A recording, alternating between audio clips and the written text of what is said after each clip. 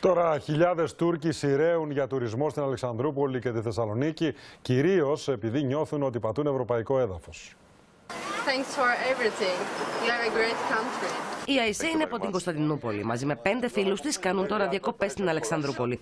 Τους συναντήσαμε σε εστιατόριο της πόλης να απολαμβάνουν ελληνικό φαγητό. Their first time in Greece, uh, we went to Thessaloniki. Είναι πολύ εύκολο για αυτούς η πρόσβαση ε, λόγω της γεωγραφικής μας θέσης.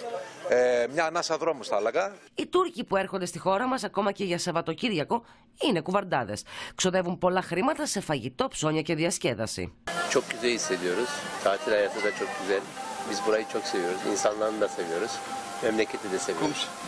Komşuyuz zaten.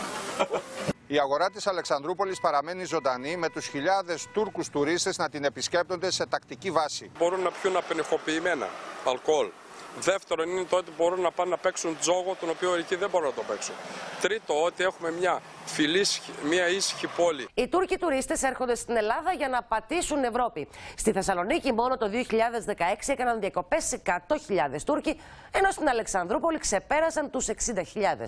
Κλείνουν πανάκριβα ξενοδοχεία και μόνο πέρυσι το καλοκαίρι υπολογίζεται ότι στη Χαλκιδική ήταν 4.000 Τούρκοι τουρίστες που άφησαν χιλιάδες ευρώ. ανακαλύπτουν έναν προορισμό ο οποίος λειτουργεί σαν μια ε, ευρωπαϊκή απόδραση για τους ε, Τούρκους πολίτες.